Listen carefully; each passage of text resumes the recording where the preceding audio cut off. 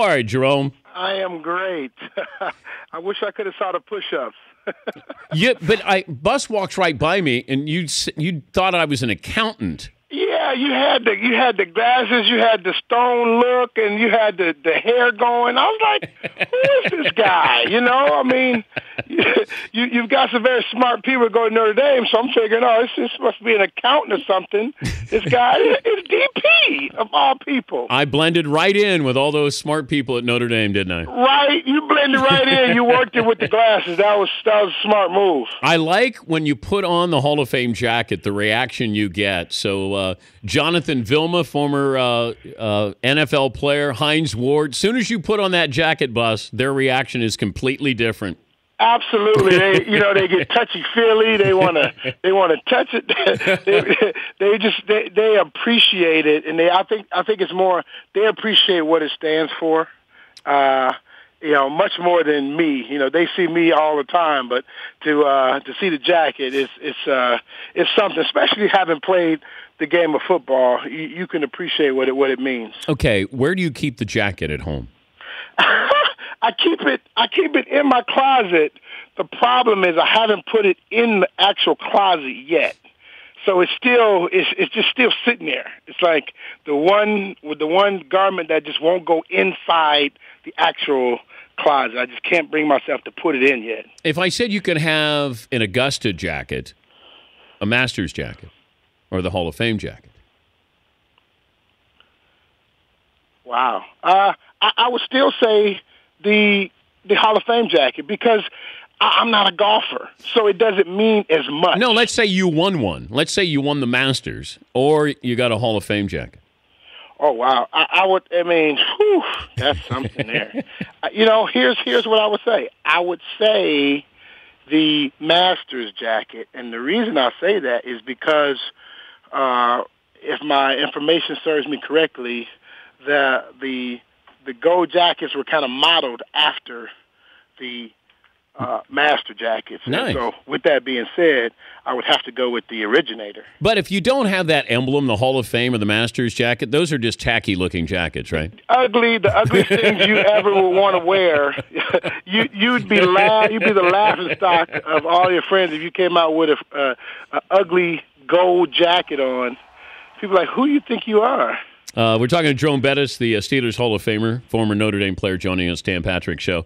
I didn't know that USC also recruited you. You said Michigan, Notre Dame, and USC. That's what it came down to. That's what it came down. Those were the, the three official visits that I took uh, coming out of high school. And, you was, said you said USC was not going to pay you that much. no, that, I was just joking with. Oh, you were joking. Oh. Oh. I was joking. Oh. How close was going to you? Because they were that was tailback you, so you had a chance to go. They were going to make you tailback or a fullback.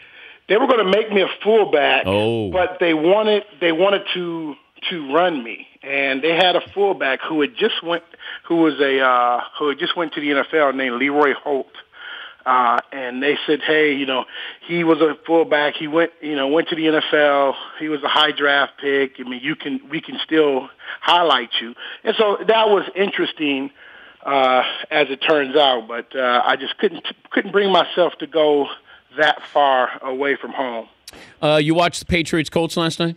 I did. I did. I watched quite a bit of it. Okay, explain the punt form. Whatever the, the, the Colts were trying to do, Bus. I, I tell you this, it was it was idiotic, and, and here's the problem: it was you've got to go and say it's poor coaching, okay? Because now, hear, hear me out. You you put these guys in this position, and now they're unsure of whether to to, to hike it or not. There's no way that you hike it, so you have to tell the, whoever is, is the center all of the situations in which you would hike the ball none of which would be with two guys over top of you and the and the quarterback. So I just I, I stood there and said, "You got to be kidding me! You giving the New England Patriots free points, Yeah. an opportunity to score points because of stupidity." And it just was it was sad to see because the Colts actually played a pretty good football game up until that point.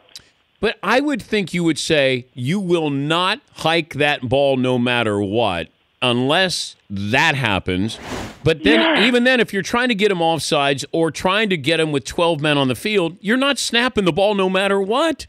And that's where you take a delay of game, but you still have a great punter in McAfee, so you're okay there. But the momentum went out of the building after that. it, you know, it, it went out of the building because every fan in there was like, "Are we cheering for idiots? What's going on?" they, they really couldn't believe it. Like, are we that dumb?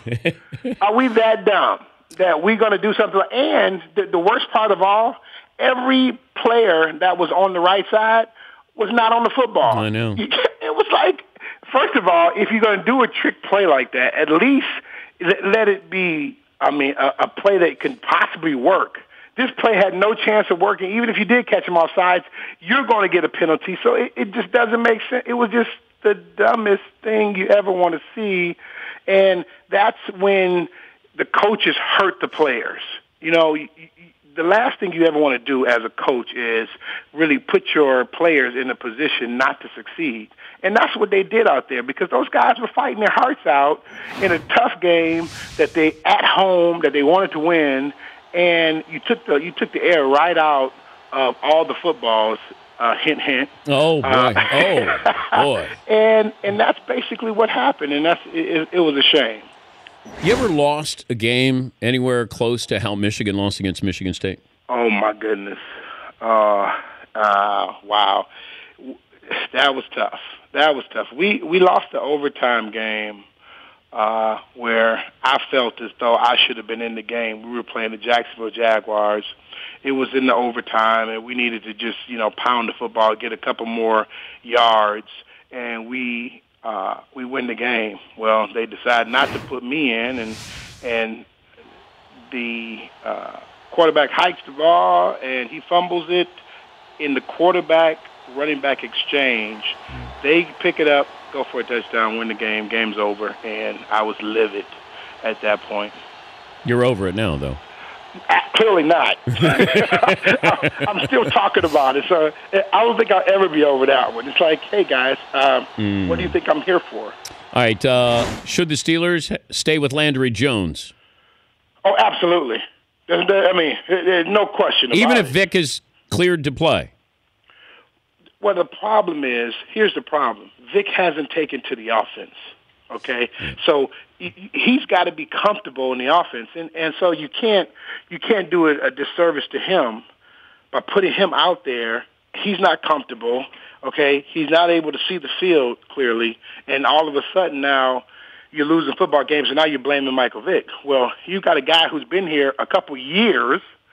He knows the system. Yes, he he he may cost you a turnover or two here or there, but you know that's part of, of football. So I think you've got to go with Landry Jones. Give him an opportunity to go out there and play his way off of the football field, and then you know what you have in Michael Vick. Okay, you know he's going to be the game manager. He can he can run. Uh, you know he can get you some first downs. He can kind of move the, the the chains.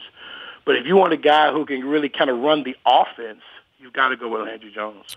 It was great to see you on Saturday night, Bussy. It was great to see the the old accountant. It was great to see you. Yeah.